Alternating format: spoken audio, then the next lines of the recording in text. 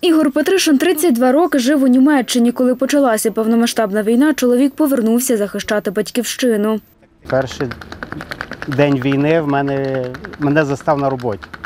Коротше, якраз прийшов зранку в 6 годині, і в мене оці колеги на роботі кажуть, що війна почалася. Я зразу прийшов в правий сектор, та я е, в правому секторі, тому прийшов зразу туди, пройшов е, вишкіл тактично-медичний і остальні там вишколи по тактиці.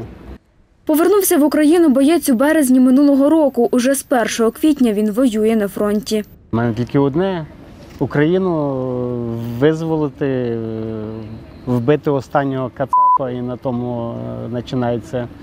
Ну, воно не починається, звичайно, так швидко. Наше мирне життя дуже багато, що й буде після війни. Праці багато. Тільки одна ціль повне знищення і з України. Військовослужбовець каже, найбільшу підтримку на передовій отримує від побратимів. Після боїв, якось, коли зустрічаємося, вони в інших підрозділах, наприклад, і бачу, що вони цілі, здорові. І всі вернулися. Це якраз такий щасливий момент.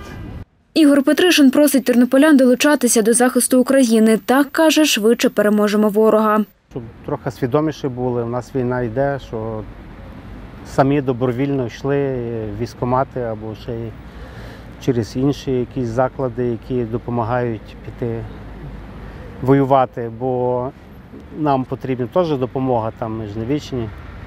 І потрібно нам, щоб вони допомагали, навіть якщо вони бояться чогось воювати, там знайдеться для них якась робота, може навіть ту саму картоплю чистити будуть, чи боєприпаси підвозити, чи е, ранених вивозити. Ну, коротше, робота є.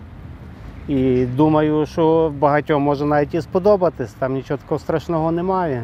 Мрію, звичайно, перемога. Чим швидше, тим ліпше.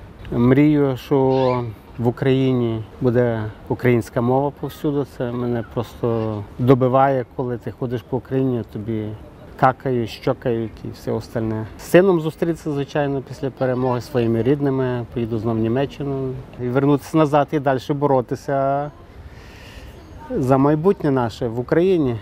Анастасія Кисіль, Оксана Галіяш, Суспільне новини, Тернопіль.